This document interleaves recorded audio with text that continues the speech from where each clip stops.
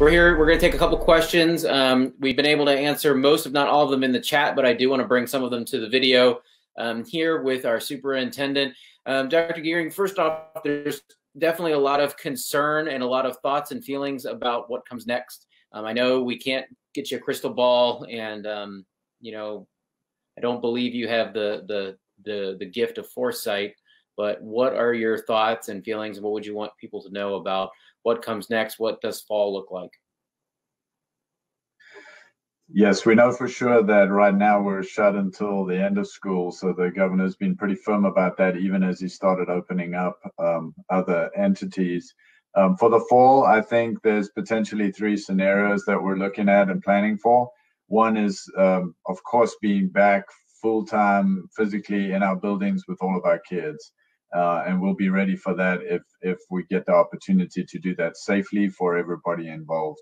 I think uh, the other extreme of that is that we have a, a, second spike or there's something goes wrong and the virus takes off again and we end up being completely remote, uh, in which case we will ramp up what is right now phase two of remote learning to a phase three of remote learning, where I think we have to have a much more robust system of direct instruction um, and making sure that we're presenting new material to our students so that they can master the curriculum that that is necessary to get through.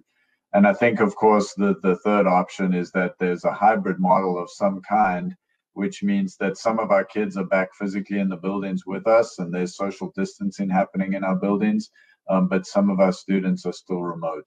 And so, of course, planning for that and making sure that we understand how to effectively and efficiently use our facilities to make that happen, who gets to be physically in the buildings and can be safe in the buildings with us, and uh, what we do about students whose parents or who themselves are not willing to put themselves at risk and come back into the buildings. And so um, our teams are planning for all of that um, and making sure that we're ready for whichever way that eventuality goes.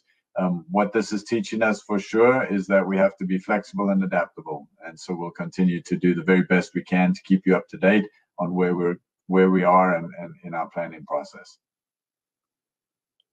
One of the things that I love about living in this community and working in this community is just how caring people are. Um, Kim is one of our viewers right now, and she brought up two very good points. One, she shared there's a Facebook page, I guess it's been created to adopt a senior to help provide that recognition to our class of 2020. And as we know that they're going to miss out on on some major life milestones or not get their major life milestones in the same way that previous graduating classes have been able to. Um, she also bring up a good question, and I know this is something we've talked about as a leadership team in a grander scheme. Um, her question specifically about meal balances um, and the notifications for people who might have outstanding mail balances. Um, Dr. Gearing, knowing that there are different fees and things that need to be collected or are typically collected, um, and knowing that we're also dealing with a historic unemployment rate in Texas and here in Austin, um, what would you say to our community members who are concerned about um, some of those those fees and those different items that exist um, in our schooling?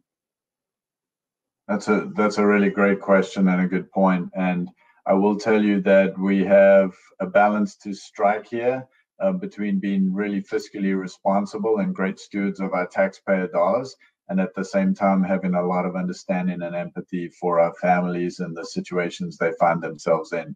So, folks, I will tell you that we will ask for um, fees and other requirements that that we have um, in, in order to try to recover some of those if possible.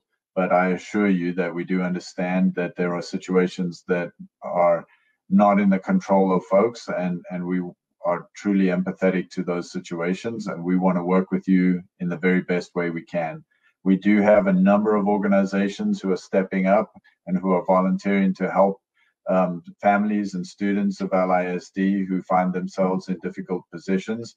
Um, and so we urge you to reach out to us. If you have any circumstances that you need help with, please reach out to us and, and ask for help.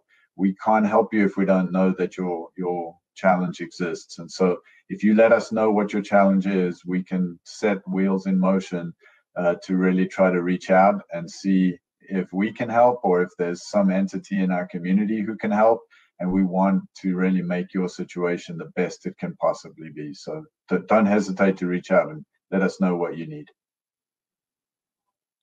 Thank you, Dr. Gearing. Update 24. It is our 24th COVID 19 response update on Friday. It will include information about spring events, MLISD, um, and the ability for students to get back into buildings, as well as teachers and staff to retrieve personal items. So please be on the lookout for that in your email inbox, text message, and website, social media channel near you. Um, with that, we're going to I'm going to toss it back to Dr. Gearing to share some closing thoughts, and then we have a delightful presentation, performance, dance, song um, by Reed Elementary School. So we hope you stick around and watch that. Dr. Gearing, leaving people on a beautiful Wednesday in Central Texas, what would you like them to be left with?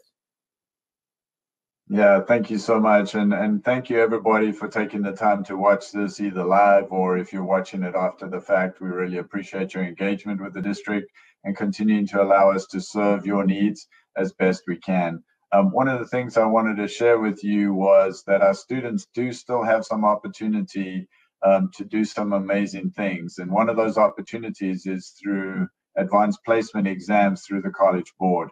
Um, those exams have been modified slightly, so of course they're not happening in person as they normally would this spring, um, but they are happening online uh, in a modified format.